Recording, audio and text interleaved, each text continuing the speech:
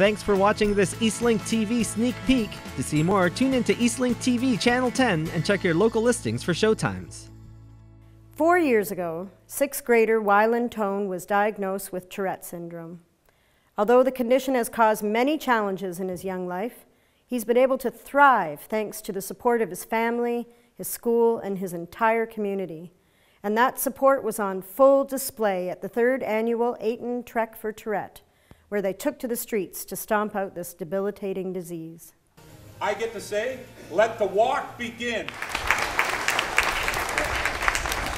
Oh, it's it's wonderful. It just shows what small communities can do, and uh, it's really nice hosting it here at Normanby Community School, where a son, a son attends, and uh, so you get all his friends out, and it's really nice to see. Our son was diagnosed in 2014 with uh, Tourette syndrome, and we just wanted to get the awareness out. And uh, over the last three years, it's really bloomed and grown into what you've seen today. We want them to know that uh, Tourette syndrome it doesn't hold that person back. Um, you need to see past the disability. Um, we just want to keep getting the awareness out there, get rid of the stigma that Hollywood kind of associates with it. Uh, in movies, often you see um, people cursing and swearing, and that's associated with Tourette syndrome, but actually, that is um, such a small part. Not every person with Tourette syndrome has that. So, um, yeah, it's just nice to get the awareness out there. I've been here, this is my third now, so all three, um, and I'm pretty sure that we've had the biggest turnout so far, and it seems every year that it keeps increasing. Uh, there's uh, actually lots of great things that are happening here. We got uh, a silent auction with amazing, uh, amazing prizes here that uh, have been donated by a lot of people. There's a big bake sale going on too. Uh, one of some of the fun things that are going on. we have a, a Kiss the Pig contest. It's new for this year, and it was actually a school fundraiser. So it was uh, myself, um, Wyland's teacher, Mrs. Dom, and the school principal, Mr. Morrison. And I've heard some rumblings that Mr. Morrison won.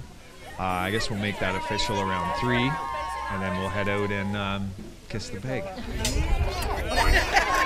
It gets the community out supporting the cause and really raises awareness, which is kind of important for Tourette's because a lot of people don't really understand what it is or how it affects people and what a challenge it is. And we watch Wyland at our school face those challenges every day successfully, and it's great to be able to support them any way we can.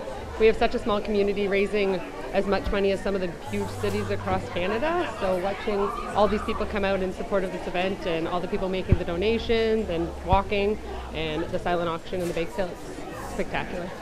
It's one of those things about the community and, and why everybody loves being in West Grey in a rural community like this. It's coming together to support those individuals out there uh, that need that little bit. The walk this year was a little bit better than uh, in the past. I question why at the end of March. You never know, but it, the understanding that Tourette's is something that is very unpredictable and uh, the weather at the end of March is also unpredictable, so it's a good thing. Uh, the weather today, though, was uh, was great. The wind died down, so that coming up that last hill, we didn't have to face the wind and the hill. well, folks, this has been the greatest trek for Tourette ever. I hope you can come next year or when it's ever on again.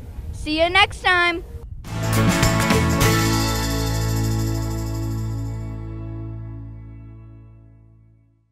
Thanks for watching this video. Eastlink TV is the home of community content. Make sure you don't miss any of it by clicking subscribe here.